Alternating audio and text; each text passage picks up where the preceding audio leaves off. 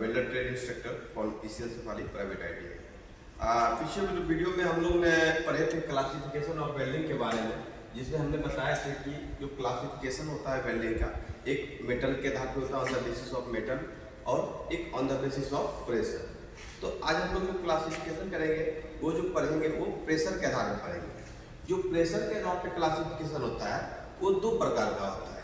एक होता है प्रेशर वेल्डिंग और दूसरा होता है नन प्रेशर जिसको हम लोग जो नन प्रेशर वेल्डिंग होता है, उसको हम लोग फ्यूजन वेल्डिंग भी बोलते हैं और जो नन फ्यूजन होता है, उसको प्रेशर बोलते हैं।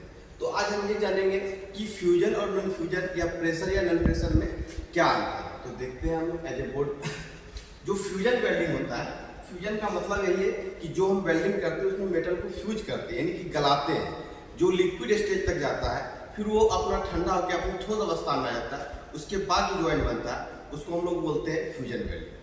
तो जो फ्यूजन वेल्डिंग होता है, उसके अंतर्गत डिफरेंट टाइप का वेल्डिंग प्रोसेस होता है। तो हमें ये देखना होगा कि इसमें जो उष्मा का स्रोत है, किसके द्वारा प्राप्त करते हैं? यदि उष्मा का स्रोत हम इलेक्ट्रिक आर्क के द्वारा प्राप्त करेंगे तो उस वेल्डिंग को हम लोग बोलेंगे आर्क वेल्डिंग यदि उष्मा का स्रोत हम लोग गैस फ्लेम की सहायता से प्राप्त करेंगे तो उसको हम लोग बोलेंगे गैस वेल्डिंग उसी प्रकार एक होता है केमिकल वेल्डिंग जो कि हम लोग उसमें क्या होता है कि उसमें जो उष्मा का स्रोत प्राप्त करते हैं, वो केमिकल रिएक्शन के द्वारा प्राप्त करते हैं। तो उसको हम लोग केमिकल वेल्डिंग भी बोलते हैं थर्मिक वेल्डिंग भी बोलते हैं। तो हम लोग देखते हैं एक एक करके जो आर्क वेल्डिंग जैसे आर्क वेल्डिंग जो होता है वो डिफरेंट प्रकार का होता है। जैसे आर्क वेल्डिंग के अंतर्गत बहुत सा वेल्डिंग है, जैसे जी टी ए डब्ल्यू मतलब जी टी ए डब्ल्यू जिसको हम लोग पूरा नाम बोलते हैं गैस टंगस्टन आर्क वेल्डिंग जो गैस टंगस्टन आर्क वेल्डिंग होता है इसमें जो इलेक्ट्रोड का हम लोग प्रयोग करते हैं, वो टंगस्टन का इलेक्ट्रोड होता है। और ये जो वेल्डिंग होता है, मुख्यतः एल्यूमिनियम और मैग्नीशियम के लिए सबसे अच्छा वेल्डिंग होता है। उसी प्रकार होता है मिग वेल्डिंग जो मिग वेल्डिंग होता है, जिसको हम लोग पूरा नाम बोलते हैं गैस मेटल आर्क वेल्डिंग ये, इसको शॉर्ट में हम लोग मिग वेल्डिंग बोलते हैं minute metal inert gas welding भी बोलते हैं। तो ये भी क्या है गैस वेल्डिंग का ही रूप है। इसमें किसी भी थिक मेटल को वेल्डिंग करने के लिए हम लोग इसको प्रयोग करते हैं। इसमें क्या होता है? जो इलेक्ट्रोड हम लोग का प्रयोग होता है, वो क्या होता है? फ़ीड होता है कंज्यूमेबल होता है कंज्यूम होते रहता है। इसलिए इसको हम लोग कंज्यूमेबल वेल्डिंग भी बोलते हैं।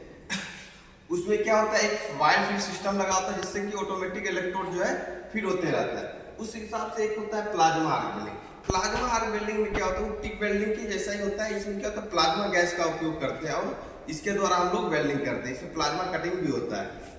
उसी प्रकार एक होता है आर्क वेल्डिंग के अंतर्गत submerged arc welding S A W जिसको हम लोग समर्ज आर्क वेल्डिंग बोलते हैं। ये भी क्या होती है? मोटी धातु को वेल्डिंग करने के लिए प्रयोग करते हैं। खास इसमें बात ये होता है, इसमें जो हम लोग फ्लक्स प्रयोग करते हैं, वो क्या होता है? ग्रेनुलर टाइप का होता है, दानेदार होता है। जो एक हॉपर की सहायता से जॉब पे गिराया जाता है। जो इसमें आर्क बनता है, जो आर्क बनता है, वो क्या होता है? फ्लक्स के अंदर बनता है, इसलिए उस आर्क को हम लोग देख नहीं पाते हैं।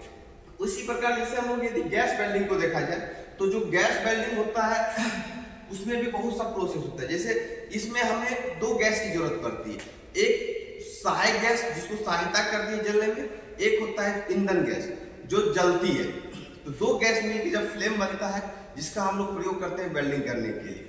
जैसे ऑक्सी एसिटिलीन इसमें हमें दो गैस मिला। एक ओटो मिला और दूसरा C2H2 मतलब एसिटिलीन गैस। जब ये दोनों गैस मिलता है तो क्या बनता है? ऑक्सी एसिटिलीन फ्लेम बनता है, जिसका प्रयोग हम लोग गैस वेल्डिंग में करते हैं। और इसका तापमान लगभग बत्तीस डिग्री सेल्सियस होता है।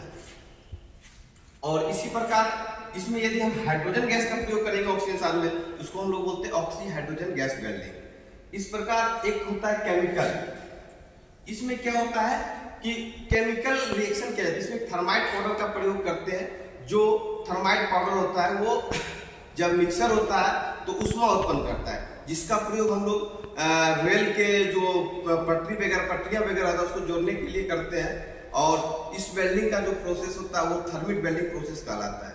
और ये रेलवे के लिए खास करके बहुत ही पॉपुलर वेल्डिंग है। और इसमें थर्माइट पाउडर को रिएक्शन करा के उसमें उत्पन्न किया जाता है।